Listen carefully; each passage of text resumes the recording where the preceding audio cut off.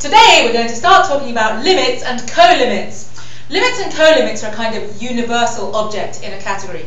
And one of the things that we like doing in category theory is identifying things with universal properties. Universal properties are when things are somehow the best or the biggest or the smallest or the most canonical or free or something. So you look at objects of a certain kind, you find the best one out of all those ones, and the way you say best is you say it's got some kind of universal property, which usually means for any other object of that type, there's some kind of good relationship between them, as we'll see. The most basic kind of limits and co-limits are the ones we'll do first, and these are terminal and initial objects. So let's start with a category C. Uh, let C be any category. We'll start with terminal objects. A terminal object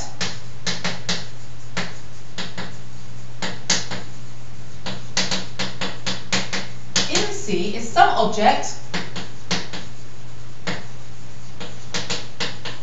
T so it's an object and now it has a universal property. And what's its universal property? Its universal property is, here's, here's your universal object, and we're going to say that given any other object in the category, there is a unique morphism to the terminal object. That's why it's called terminal. Everything kind of ends up there. Uh, so it's an object T such that for all uh, x in C, there exists a unique morphism from the other one to the terminal one. That part, the such that part, is the universal property. Uh, so this is the, let's see, maybe I'll put it in blue. This part is the universal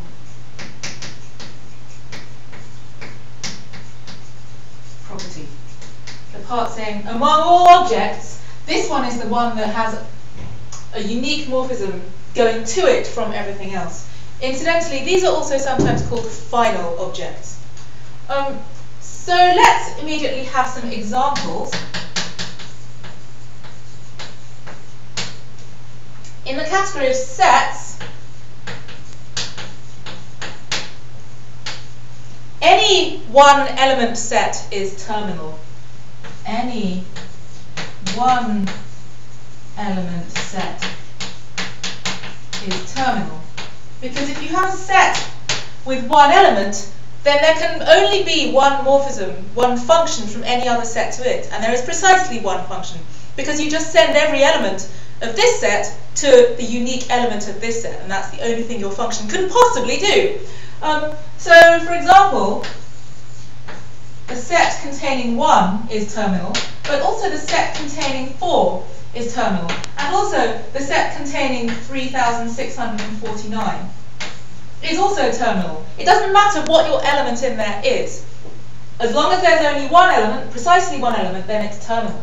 Um, now, one thing you'll immediately notice from this is that there isn't only one terminal set. However, all these terminal sets are really very similar to one another. It doesn't matter what the one object is.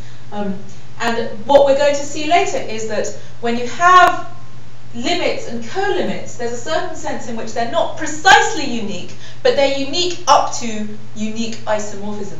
Now, uniqueness up to unique isomorphism is a very important notion in category theory, and that's it's a sort of categorical uniqueness. We're not interested in things being literally unique, because that would be saying something about um, equalities, and we're supposed to consider isomorphisms to be sort of like equalities. So we're supposed to consider two objects as being more or less the same if they're isomorphic. So that means that we're not looking for uniqueness on the nose, we're looking for uniqueness up to isomorphism, but not up to any old isomorphism, up to canonical isomorphism. So here, there's a canonical isomorphism between any two of these sets. Um, and we'll prove in a second that terminal objects are unique up to unique isomorphism. So let's have another example. Uh, in the category of groups, the trivial group is terminal.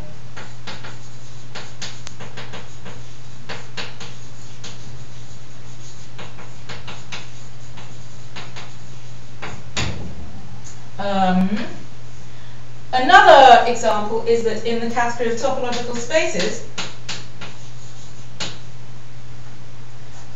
any one point space is terminal.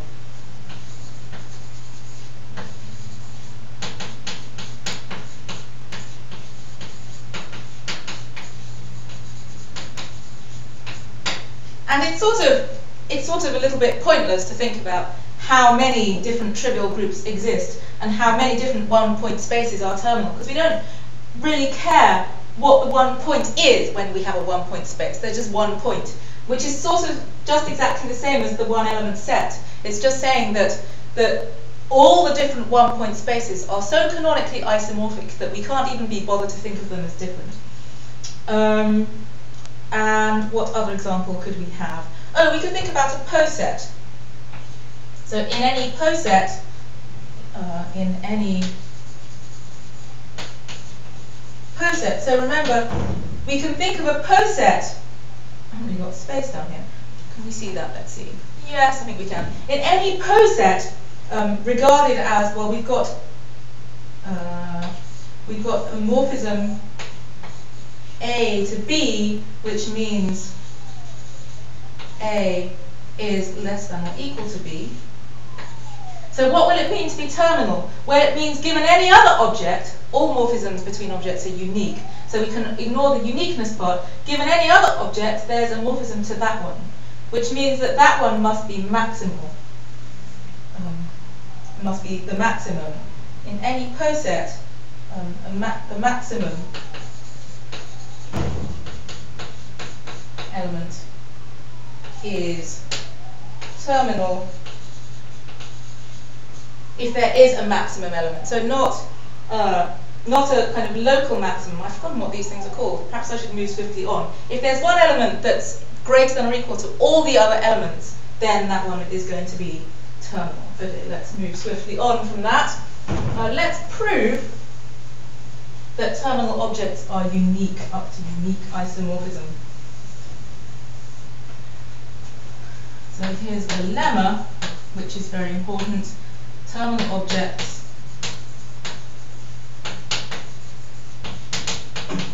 in a given category C are unique up to unique isomorphism. So how do we say that literally? We say if T and T inverse are terminal,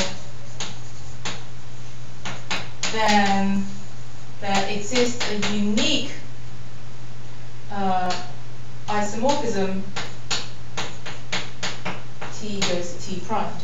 And what we do here is we do um, what John Baez sometimes calls the gunslinging contest. So uh, we say this is it's about who's the fastest gunslinger. So you, you, if you have two people who both claim they're the fastest one, then you have a competition between them. So we're going to have a competition between these two terminal objects. And we say, well, this one is terminal, so there's certainly a unique morphism going from this one to that one. But this one is terminal, so there's a unique morphism going from this one to this one. So we've got something that might be an inverse for it, but this one is also terminal, which means that there's a unique morphism going from it to itself, which must be the identity, which means that when we compose like that, then we must get the identity, which shows that that, that really is an isomorphism. And likewise, if we start there and compose in this direction, then um, we get something that has to be the same as the identity, because this one is terminal. So I'm not sure if I have long enough actually to write this up, but uh, let's try. T prime is terminal, so we get a unique map from T to T prime. This is a proof. T is terminal, So we get a unique map T prime to T, let's call that F and G, um, and finally we can show that FG equals GF equals 1 since T and T prime.